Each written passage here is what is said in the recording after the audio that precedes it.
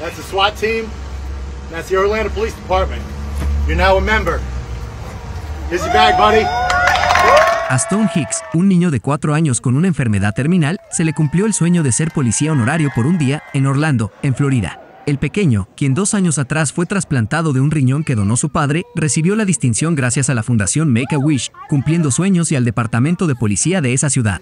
En su día especial, Stone llegó a la estación de policía en una limusina negra, escoltado por una docena de patrullas motorizadas y recibió un uniforme especial, una insignia y una patrulla, para que se sintiera un miembro más de la corporación.